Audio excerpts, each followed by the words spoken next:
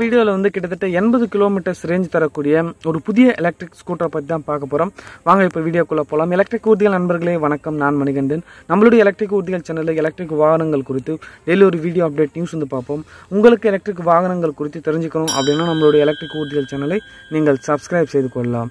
So இந்த வீடியோவில் வந்து பார்த்தீங்கன்னா ஒகாயா குரூப் நிறுவனத்துடைய எலக்ட்ரிக் வெஹிக்கிள் டிவிஷன் மூலமாக லான்ச் செய்யப்பட்ட ஒகாயா ஃப்ரீடம் அப்படின்ற ஒரு புதிய எலக்ட்ரிக் ஸ்கூட்டரை பற்றி தான் பார்க்க போகிறோம் இந்த ஒக்கா அஹ், இந்த புதிய எலக்ட்ரிக் ஸ்கூட்டர் வந்து பார்த்தீங்கன்னா ஒரு லோ ஸ்பீட் எலக்ட்ரிக் ஸ்கூட்டர் இந்த வண்டியில் வந்து ரெண்டு பேட்டரி ஆப்ஷன்ஸ் வந்து கொடுக்குறாங்க. லித்தியம் அயன் பேட்டரி பேக் அல்லது lead acid battery pack so நம்ம விருப்பத்திற்கு ஏற்ற மாதிரி இந்த வண்டியை வந்து நம்ம வாங்கிக்கலாம். அது மட்டும் இல்லாமல் இந்த ஃப்ரீடம் எலக்ட்ரிக் ஸ்கூட்டர் வந்துட்டு இமாச்சல் பிரதேசத்தில் இருக்கிற பிளான்ட் மூலமாக அவங்க மேனுஃபேக்சர் பண்ண போகிறதாகவும் சொல்லியிருக்காங்க.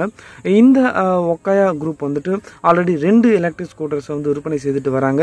அந்த வண்டியுடைய பேர் வந்து பார்த்தீங்கன்னா ஏவியானிக் அப்புறம் கிளாசிக் அப்படின்னு சொல்லிட்டு ரெண்டு ஸ்கூட்டர்ஸ் வந்து அவங்க விற்பனை செய்துட்டு வராங்க. இந்த வண்டியுடைய டிசைன் மற்றும் ஸ்பெசிஃபிகேஷன் பற்றி பார்க்கலாம்.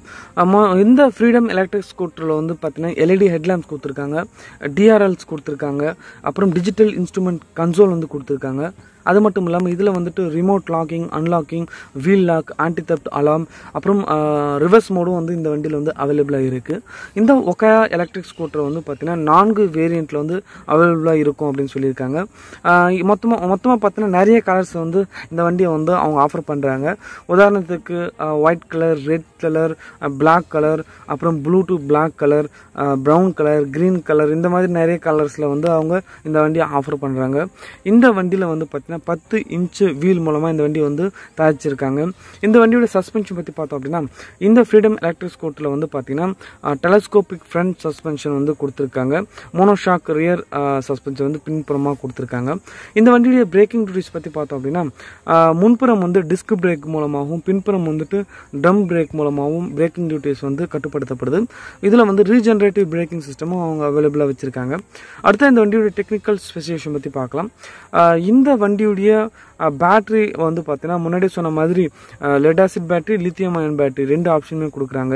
லித்தியம் அயன் பேட்டரி வேரியன்ட் அப்படின்னா நாற்பத்தெட்டு வோல்ட் முப்பது ஆம்பியர் திறன் கொண்ட லித்தியம் அயன் பேட்டரி மூலமாகவும் அதே லெட் ஆசிட் வேரியண்ட்டாக இருந்தது அப்படின்னா நாற்பத்தெட்டு வோல்ட் இருபத்தெட்டு ஆம்பியர் திறன் கொண்ட Amaron Quanta VRLA battery pack மூலமாகவும் பவர் செய்யப்படும்.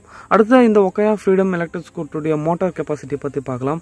இதில் வந்து டூ ஃபிஃப்டி வாட் திறன் கொண்ட பிஎல்டிசி ஹப் மோட்டார் மூலமாக இந்த வண்டி வந்து இயக்கப்படுது. அடுத்து இந்த வண்டியுடைய அதிகபட்ச வேகம் மற்றும் ரேஞ்சை பற்றி பார்க்கலாம். இந்த ஃப்ரீடம் எலக்ட்ரிக் ஸ்கூட்டருடைய அதிகபட்ச வேகம் மணிக்கு இருபத்தஞ்சு கிலோமீட்டர்ஸ் வரைக்கும் போகக்கூடியது. ஒரு முறை ஃபுல்லாக சார்ஜ் போட்டோம் அப்படின்னா லித்தியம் அயன் பேட்டரி பேக் அப்படின்னா எழுபதுலேருந்து எண்பது கிலோமீட்டர்ஸ் வரைக்கும் ரேஞ்ச் கொடுக்கும். அதுவே லெட் ஆசிட் அப்படின்னா ஐம்பதுலேருந்து அறுபது கிலோமீட்டர்ஸ் வரைக்கும் ரேஞ்ச் கொடுக்கும். இந்த மாடலில் ஒரு வேரியண்ட் வந்து பார்த்தீங்கன்னா கிட்டத்தட்ட இரநூத்தி ஐம்பது கிலோமீட்டர்ஸ் ரேஞ்ச் தர மாதிரி இருக்கும் அப்படின்னு அந்த கம்பெனி தரப்புலேருந்து சொல்லியிருக்காங்க. ஸோ அந்த அதனை அதை பற்றின டீட்டெயில்ஸ் வரும்போது அதை பற்றி இன்னும் தெளிவாக பார்க்கலாம். அடுத்த இந்த வண்டியோட சார்ஜிங் நேரத்தை பற்றி பார்க்கலாம். இந்த ஃப்ரீடம் எலக்ட்ரிக் ஸ்கூட்டருடைய சார்ஜிங் நேரம் வந்துட்டு லெட் ஆசிட் பேட்டரி அப்படின்னா கிட்டத்தட்ட எட்டுலேருந்து பத்து மணி நேரம் பிடிக்கும். அது லித்தியம் அயன் பேட்டரி பேக் அப்படின்னா நான் நான்குலேருந்து ஐந்து மணி நேரம் வந்து பிடிக்கும் உள்ள சார்ஜ் பண்ணுறதுக்கு இறுதியாக இந்த வண்டியுடைய விலையை பற்றி பார்க்கலாம். இந்த ஃப்ரீடம் எலக்ட்ரிக் ஸ்கூட்டருடைய விலை வந்து பார்த்தீங்கன்னா அறுபத்தி ஒன்பதாயிரத்தி தொள்ளாயிரம் ரூபாய்.